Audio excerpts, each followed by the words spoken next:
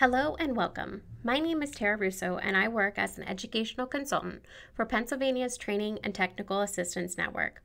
As part of my role at PaTTAN, I'm a contributing partner to the Multi-Tiered System of Support initiative. This video, Evidence-Based Practices for Mathematics Instruction, an Introduction to Word Problems, will address reasons students may struggle with word problems and strategies you can include in your instruction to support them. The mission of the Pennsylvania Training and Technical Assistance Network is to support the efforts and initiatives of the Bureau of Special Education and to build the capacity of local educational agencies to serve students who receive special education services.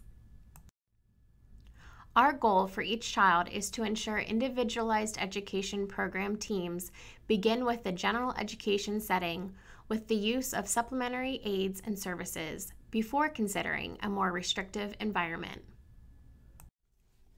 Pennsylvania's multi tiered system of support is a standards aligned comprehensive school improvement framework for enhancing both academic and behavioral health outcomes for all students.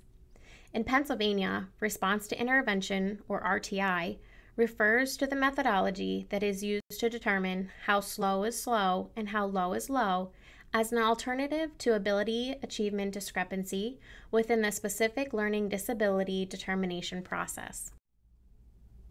Pennsylvania's MTSS model represents an integrated system, meaning that cross disciplinary teams use a problem solving process to facilitate shared ownership for achieving academic and behavioral goals using a continuum of evidence based practices and reliable and valid data sources.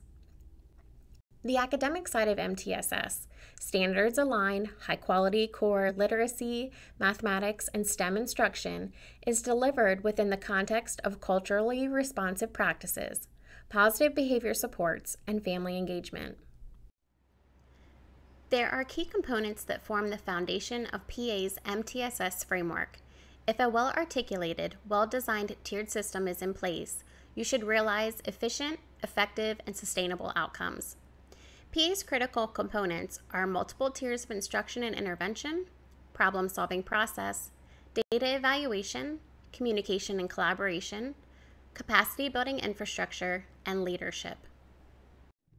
Today we will focus on PA's critical component, multiple tiers of instruction and intervention. In an MTSS framework, all students receive high quality core instruction and, if needed, receive supports and interventions. Allow this triangle to represent 100% of students. When considering instructional intensity in an MTSS framework, all students receive instruction at one of three tiers. The tiers are Tier 1, Tier 2, and Tier 3. As the tiers increase, so does instructional intensity. However, group sizes decrease due to a lesser number of students requiring intensive interventions. Tier 1 contains all students, about 80% of students will experience success from receiving high quality core instruction. Tier 2 will contain roughly 15% of students. Students at this tier receive core instruction in addition to supplemental targeted interventions. Tier 3 contains 5% of students. These students need intensive interventions in addition to core instruction. At this tier, students receive individual interventions unique to their learning needs. The learning intentions or statements of what is intended to be learned from this video are for you to be able to identify reasons students may struggle when solving word problems, define how general solution strategies can be used during core instruction, and explain how schema-based instruction can support students at Tier 2 and Tier 3. Let's begin by addressing ways we can support students when solving word problems. Here are two common misconceptions taught to students when learning word problems. Teaching tips and tricks, emphasizing keywords and word problems. Let's dive a little deeper into those common misconceptions. I think we would agree that there are essential parts of a word problem that are needed to solve it. These parts are the critical numbers and quantities used in the word problem, labels that define the numbers and quantities, such as money, temperature, animals, etc. The question being asked, the operation used to find the solution to the word problem, and the keywords present to support students when making sense of the problem. I'm going to highlight math words. Let's talk about that a little bit more. Math words are appropriate to use, however, should not be tied to operations. Many students are taught that magic math words will always help them identify the operation being used on a word problem. This misconception expires in third grade when students begin solving multiplication and division word problems. If you would like to read about additional rules and misconceptions that expire in the elementary grades, read 13 Rules That Expire by Karen Karp, Sarah Bush, and Barbara Dougherty. Do you use a math word list similar to these when teaching word problems? I would ask you to reconsider the strategy. Math words should not be taught as a shortcut to finding the operation needed to solve a word problem. This is when the keyword strategy becomes especially problematic. Here is a word problem similar to one your students may see. Joseph took the 23 baseball cards he no longer wanted and gave them to Brandon. Now Joseph has 62 baseball cards left. How many baseball cards did Joseph have before giving Brandon the ones he no longer wanted? Well, let's consider the use of the word left in this word problem. Children may focus on the key word left and decide the operation to use when finding the solution is subtraction. But if you read the problem carefully, the problem requires addition to find the proper solution, not subtraction. Here is another example of why keywords should not be used in isolation. Samantha has three quarters in her right pocket. She has five dimes in her left pocket. How much money does Samantha have? In this example, the word left represents Samantha's left pocket. Just looking at the math word left would mislead the students when finding the solution. Addition is the correct operation to use to find the total amount of money Samantha has, not subtraction. We looked at the keyword strategy and considered how this one approach can be problematic for students. Let's focus on our students with disabilities. Word problems may pose to be especially challenging to them. So, what does research tell us about why students with disabilities may struggle when solving word problems? They may lack the ability to select the correct strategy to apply to situations. They may struggle with comprehension of the text in the word problem. They may have difficulty applying a strategy to solve a math problem. They may have difficulty deciding which operation to use. And they may lack metacognitive skills needed to self monitor progress and make corrections when needed. Students with disabilities, however, can learn to regulate both behavior and attention to task, as well as academic accuracy and production. Educators need to explicitly instruct students to acquire the self regulatory strategies of self instruction, self questioning, and self checking. For example, in terms of word problem solving, self instruction involves students reading the problem and telling themselves what to do.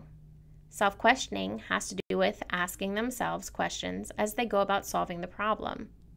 Self checking has to do with students checking over their work to make sure that it is complete, accurate, and that their answers make sense. Traditionally, students learn to solve math word problems by taking note of keywords. However, Asha Jitendra, professor of educational psychology at the University of Minnesota, wrote in an article she published on solving math word problems that the keyword strategy often leads students astray from what the problem is asking, and in turn, students may miss out on the big picture. As a result, teachers have shifted towards General Solution Instruction, or GSI, for word problems, emphasizing language comprehension and providing students with an all purpose plan of attack. General solution instruction may include the use of a mnemonic as the means to recall their plan of attack when solving a word problem.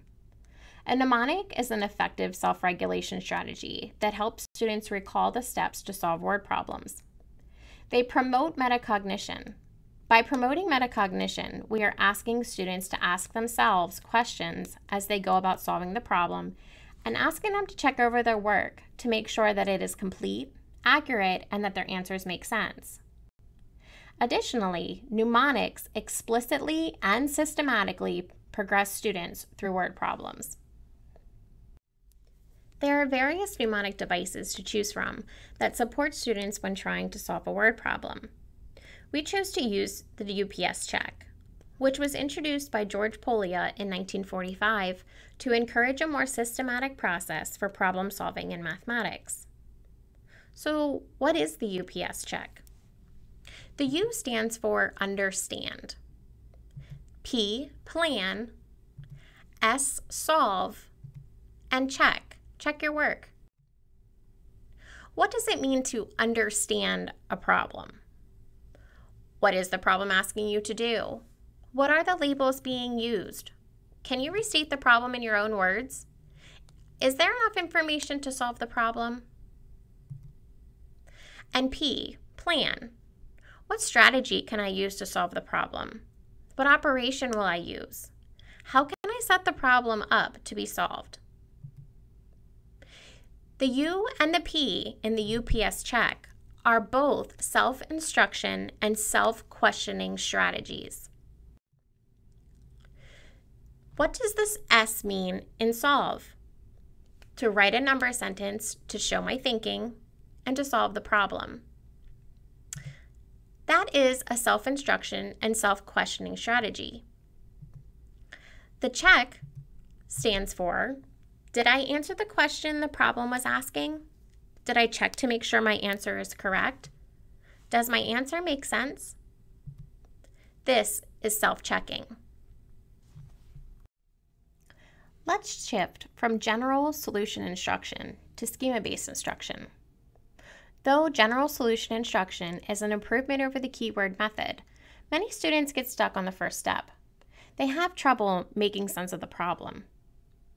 The shift to schema-based instruction is so students can see the underlying structure of a word problem that can be generalized in their current grade and future grades. It has been shown to be an effective research-based strategy for students that struggle. With schema-based instruction, students learn to categorize word problems into a few different types and apply a tailor-made plan to figure out the solution. How does schema-based instruction support struggling learners?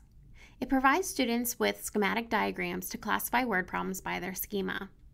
The schematic diagrams are explicitly taught. Teachers use think alouds to model the steps for solving a word problem, while also providing context as to why these steps are important. Also, teachers purposefully select the models and worked examples they use with their students. There are three steps associated with schema based instruction. First, identify a word problem as belonging to a problem type. Second, use specific problem type schemas. Third, use the structure of the word problem to solve the problem. You may be wondering when it is appropriate to introduce schema-based instruction to your students. To answer this question, let's consider the six stages of learning defined by Mercer and Mercer in their 2005 book, Teaching Students with Learning Problems. Schema based instruction occurs at stage five of the learning process. What does instruction look like at stage five?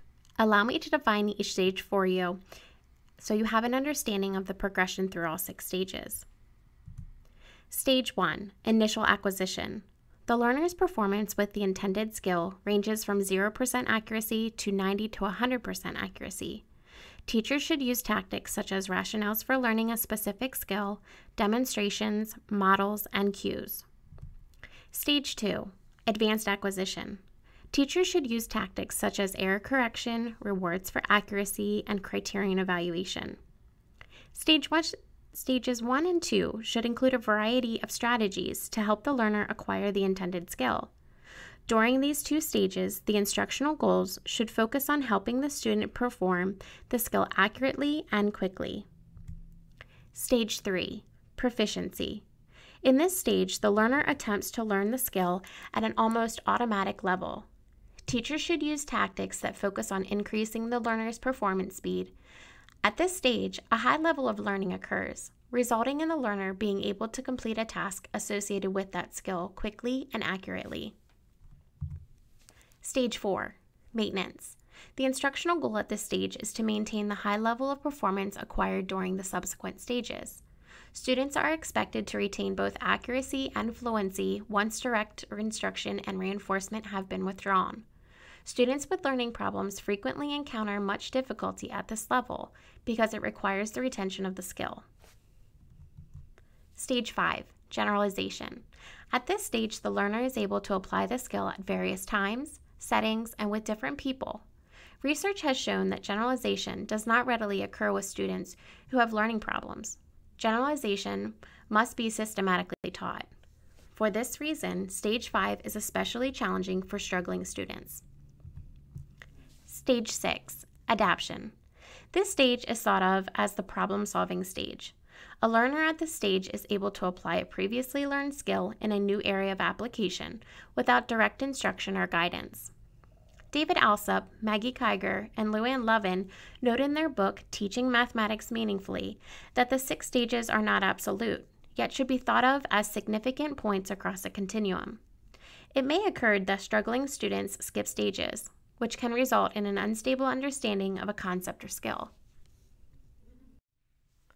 Now that you have an idea of the instructional strategies that should be taught to your students prior to introducing them to schema-based instruction, let's take a look at the four additive schemas.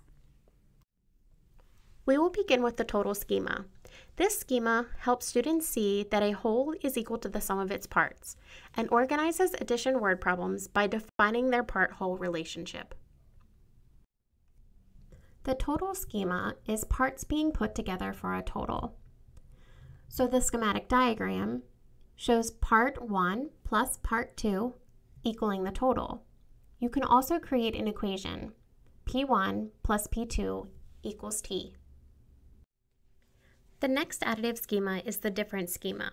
If a word problem is defined as belonging to the difference schema, there are two sets being compared, and students need to identify the difference in value between the two sets. When using the difference schema, we identify the larger quantity and subtract the smaller quantity from it to find their difference. The equation for the difference schema is B minus S equals D. The last two additive schemas are the change increase and change decrease schemas. With both schemas, you start with a beginning amount and it either increases or decreases, resulting in the ending amount. Change problems occur over a period of time. The diagrams for the change increase and change decrease schemas are the same. With change increase, we are talking about one thing increasing over a period of time, such as the temperature rising. The equation for a change increase word problem is ST plus C equals E. So the starting amount plus the change equals the ending amount. Change decrease word problems have one thing decreasing over a period of time, such as the amount of money someone has after purchasing something. The equation for a change decrease word problem is ST minus C equals E.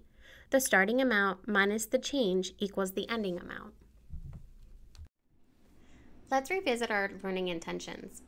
Today, we identified reasons students may struggle when solving word problems, defined how general solution strategies can be used during core instruction, and explained how schema-based instruction can support students at Tier 2 and Tier 3. Thank you for watching. Please visit PaTTAN's website at www.pattan.net to learn more about the MTSS and mathematics initiatives.